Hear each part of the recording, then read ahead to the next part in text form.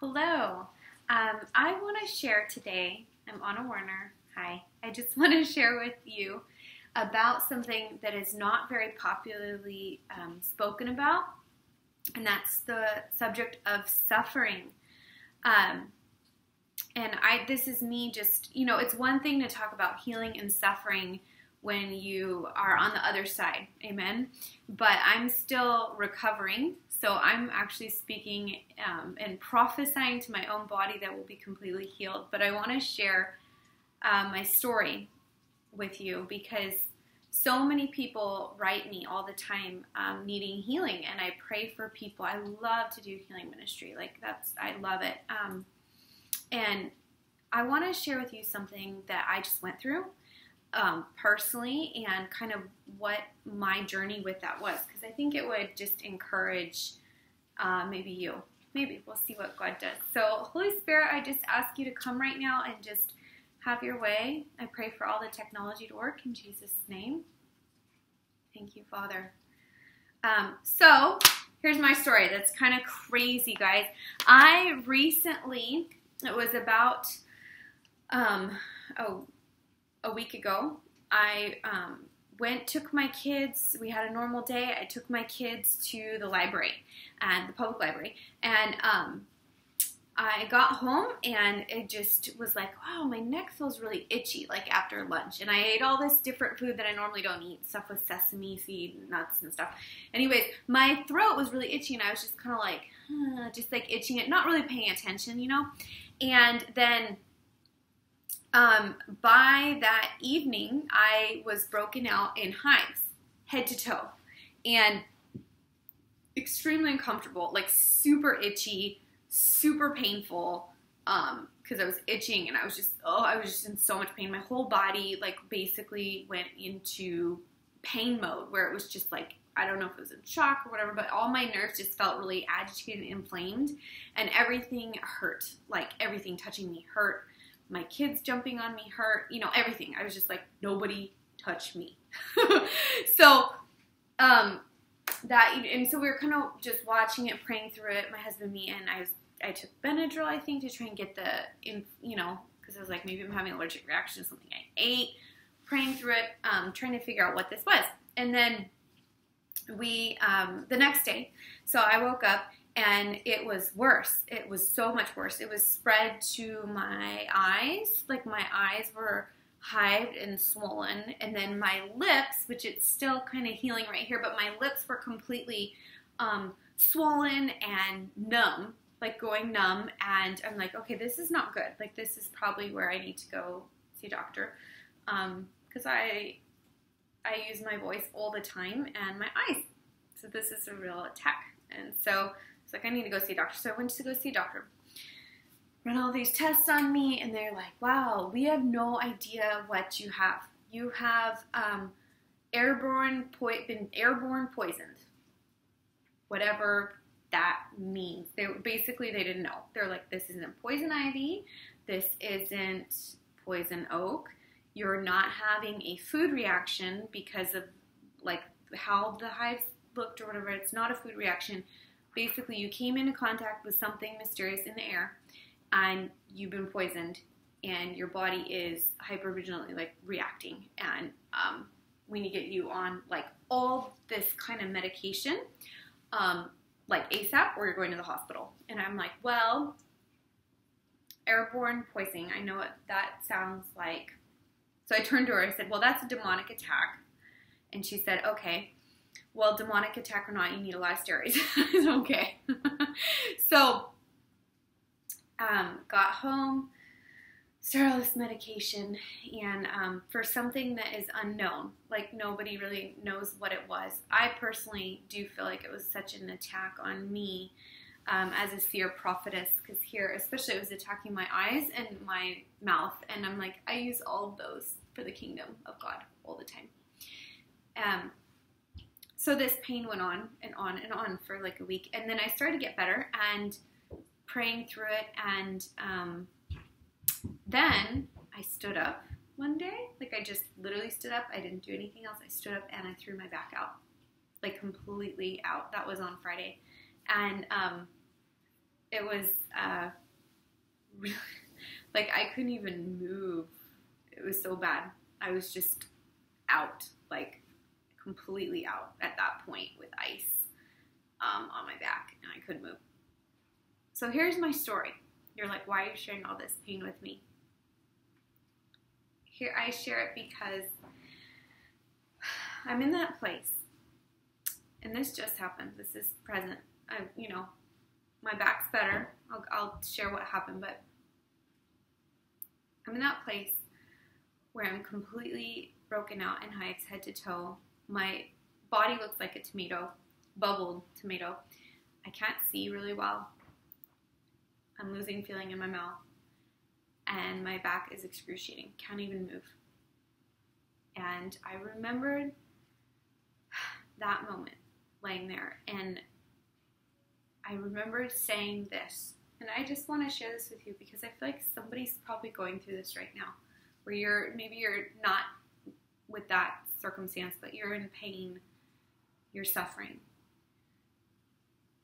When I was in that moment, I kept saying to myself, and I had to choose this, honestly, I kept having to say, I will not be offended. And I had like there's so many times I said that in in tears. I was like, I'm not gonna be offended. The the enemy sucks. I know that he's coming against me right now. I know this is a demonic assignment. Not everything's a demonic assignment, but I really felt like this was a demonic attack, and I had heard that from the Lord. Um, and I just was like, this sucks, and this has to go. But in this place, when I'm there on my back, laying, and I can't move, I'm in pain, I will praise you, God. I will praise you, God, and I will, I will set my mind to refuse to be offended right now because you are good. And I um, now let me tell you another story that why you're going why would you share this? But I had this story of something that happened to my husband and me a while back actually that set me up for this moment to choose not to be offended because I remembered this in this moment. So when my husband and me first got back from Nepal, we'd been missionaries overseas. We moved back here to Kansas City, Missouri. We had nothing. We had no money, no house, no anywhere, no car, no anything. And we basically lived with my in-laws and um, call them in-laws, not in-laws, in-laws. I lived with them. We lived with them, and which was awesome. And they helped us. And um, then the Lord, it was a miracle of God, gave us this car. It was like a blessing because here we needed to get around and we couldn't get around and gave us a car. And it was amazing. It was exactly like what we had prayed for. It was such a blessing.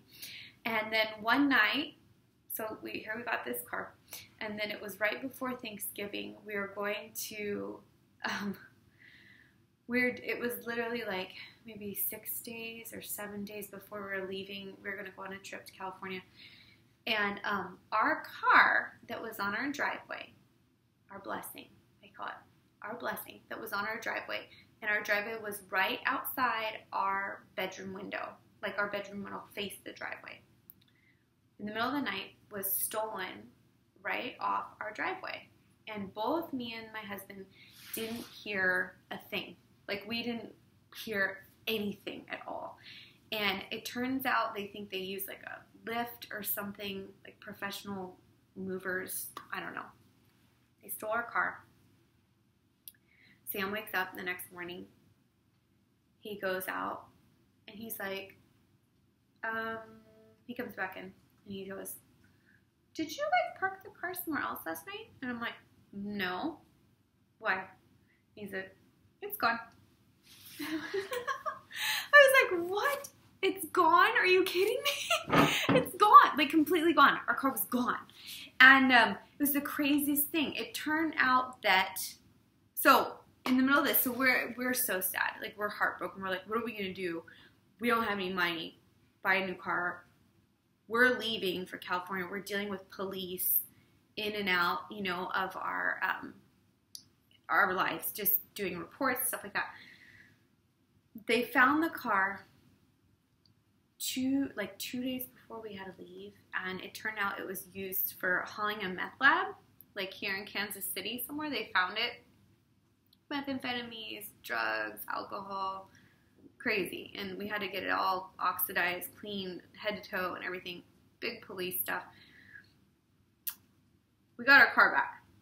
But during that time, now we got our car back, but we had to pay. I think we had to pay like 600 bucks. For us at the time, 600 bucks was like, oh my gosh, what are we gonna do? You know, because we, we didn't have any money. We were like, what are we gonna do? That's a lot of money for some people. It, uh, for us at the time, it was a lot. Um, God came through, but I remember it was like, okay, God, you've got to help us. But when we were going through that, I want to say this, when we were going through that, that I'll never forget that moment when both me and Sam realized our car had been stolen, and we looked outside and we felt completely devastated. I remember hearing Holy Spirit say this. I heard Holy Spirit's voice, and He said, "What will be your response?" And it was in that moment that I said, Sam, I remember we looked at each other and we both said, we said, we will not be offended. We will praise God and thank Him despite this. And that moment helped me this past week so much.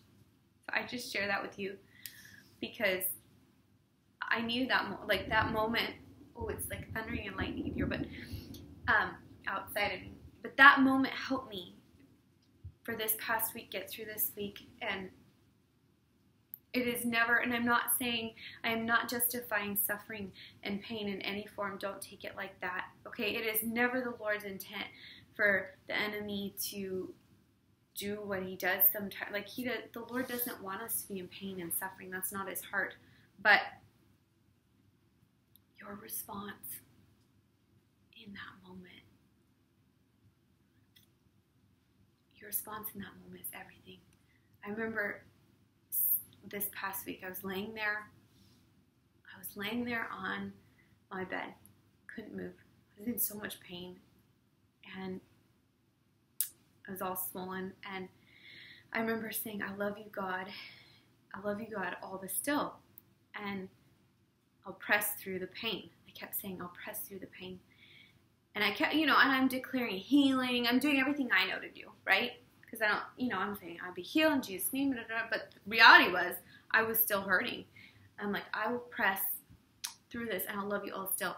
And I kept that old worship song, you know, in those moments, old worship songs always come back to me. And I was like, I was singing that, um, give and take away, you give and take away, my heart will choose to say, Blessed be your name. Now I'm singing it through tears. Like this wasn't a beautiful worship moment. This was through absolute tears and pain that I'm seeing you give and take away. But the being able to praise all the still Him. He is good, He is worthy. I just want to encourage you if you're in this place of pain and suffering today, He is good God. And He wants you healed and whole. The second thing I did that I want to share with you is I was really careful with my words and not just with other people, but because that's like obviously I'm going to be careful what I say and everything. But instead of complaining about my body, because um, one time I was I was just sharing with someone. They asked, "What are you going through?" And I was just sharing it, and I I felt like the you know I'm being honest and real with you, but I felt so frustrated. Like, why am I going through this? Like, nobody even knows this is so demonic. What is this? so much pain. I'm so sick of not, this not getting better because it wasn't really getting better. It was actually getting worse. And so I stopped and I heard Holy Spirit say, Bless your body. And I was like, Okay, that's a different thing. I'm going to bless my body. So instead of feeling frustrated and what I had felt at one point was I felt like swallowed by defeat. I don't know if that rings true for any of you, but I felt swallowed by defeat. And I just thought, I am going to bless my body. So every time I started to feel like absolutely frustrated at my end with this. I was like, Lord, I bless my body. I thank you, body, that you are being healed and whole and you are functioning how you should. You are a good body that serves me well. I bless you. And I would keep doing that over and over and over. And it kind of helped me, honestly, um, a lot. Um, and then the last thing I did that I want to share to get me through this really, really hellish week was um, I used the word. The word of the word of God is our weapon. We know that, and so I want to give you some scriptures that I use personally um, this week that really helped me, and you can take them, use them. I printed them out here. So Mark 16, 17 through 18 was one that I used. I said, These signs will accompany those who believe in the name. They will cast out demons, they'll speak with new tongues, they will pick up servants, and if they drink any deadly poison, it will not hurt them. They will lay hands on the sick, and they will recover. Now, I loved that scripture, and I used it because I'm like, whatever this is, whatever airborne, weird, whatever, it can't, this poison cannot harm me in Jesus' name. And I kept standing on that scripture. And then I used Isaiah 53 3, which we know as, um, and by his scourging we are healed. And a lot of times people say by his stripes we are healed, but sometimes I like to use it in what is this, the NASB version? It says scourging because it really depicts how quite the painful process that Jesus really went through. It doesn't, I don't know, sometimes we hear stripes so many times it just, we forget what that really means, you know. Good reminder. But we are healed. And so I kept saying, okay, by your scourging, I've been healed. That's what the word says. And then the last one I did was Psalms 91 11 through 15 in the Passion Translation. God sends angels with special orders to protect you wherever you go, defending you from all harm. If you walk into a trap, they'll be there for you and keep you from stumbling. You'll even walk unharmed among the fiercest powers of darkness trampling every one of them beneath your feet. Come on. For here is what the Lord has spoken to me. Because you have delighted me as my great lover, I will greatly protect you. I'll set you in a high place, safe and secure before my face. I will answer your cry for help every time you pray. And you will find and feel my presence even in your time of pressure and trouble.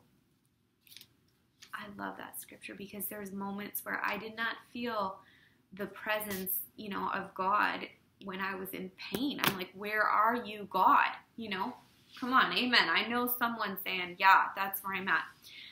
Um, but it says, I will answer you every time, and you'll feel my presence in your time of pressure and trouble.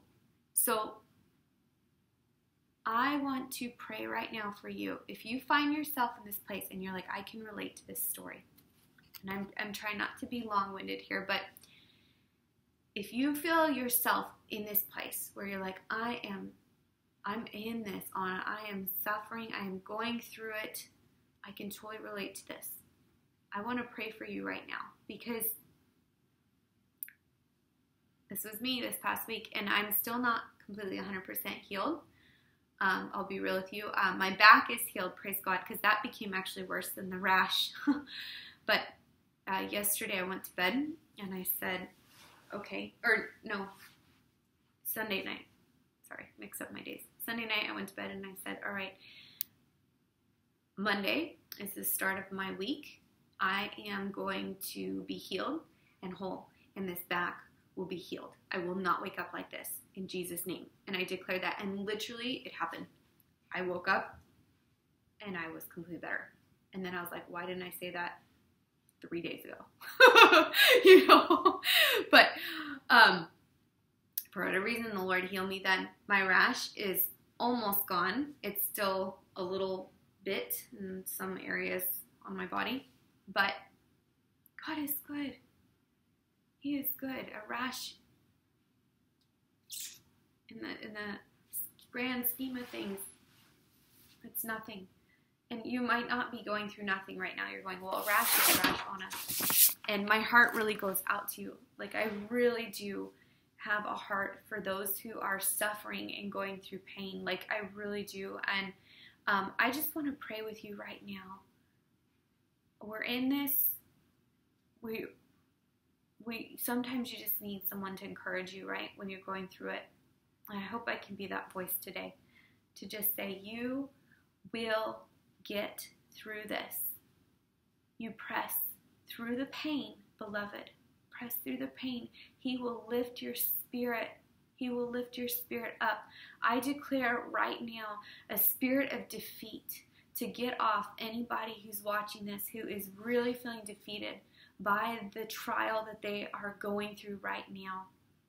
Father, I pray right now for, um, wow, just healing, healing, healing. I feel Holy Spirit right now, so I'm just going to say, I pray healing, healing, healing. Wow, karabate. Hey, to somebody's body I pray for cancer to go. I pray for tumors to be uh, melted off. I pray for leukemia to be gone in Jesus' name. I pray for somebody's kidneys, ovaries, bladder to be healed in Jesus' name. I pray for heart, somebody's heart to be healed as well. Karabashu, somebody's heart that's facing surgery. I pray for that. Um, a turnaround healing in Jesus' name, a quick healing. I pray actually Quicken the process, Father, in Jesus' name. I thank you, Lord, that no weapon formed against us shall prosper, and any assignment of the enemy must fall down right now in Jesus' name. And God, we will choose, myself included, we will choose to praise you. Praise you, God. We love you, Jesus. We love you, Lord despite what we're going through right now, God, we love you, love you, love you, and nothing, nothing, nothing will ever steal that or take our love away. Karabasho, we're abandoned for you, God. Here we are. Here we are. Karamasho. I just pray and prophesy that somebody watching this right now, you're feeling the presence of the Lord come over you. You are feeling um, heat and warmth in your body, and that's just His healing presence. It's just touching your body. Kurabasho. Sometimes it's slow at first, and you don't even realize it until you test out, and you're like, "Oh, my body feels my neck's been healed," or "Ooh, someone's neck is being healed right now." I just saw a picture of a neck, so whosever neck that is, right now, I just declare complete healing, restoration, and things being realigned in the neck right now in Jesus' name. Karabashu. Thank you, Father.